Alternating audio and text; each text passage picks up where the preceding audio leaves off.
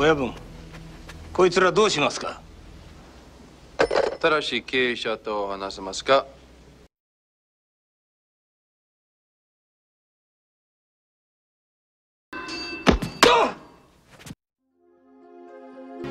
Have we met before?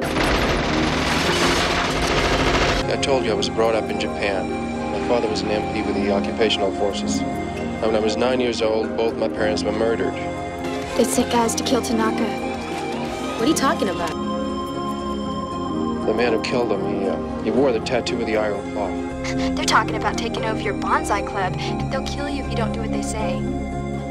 Angel, what am I gonna do with you? I struck him in the face with his own sword. It was Yoshida. I'm partnered with a homicidal maniac on a personal vendetta of family vengeance.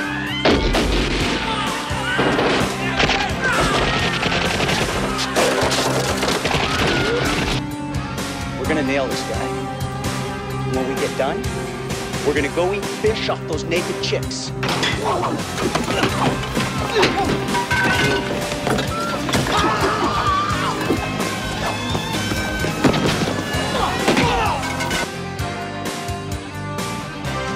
Please don't!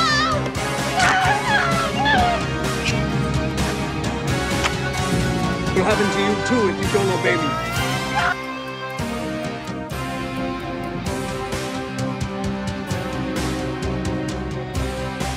You take the car, follow Yoshida. There's gotta be nine guys in there.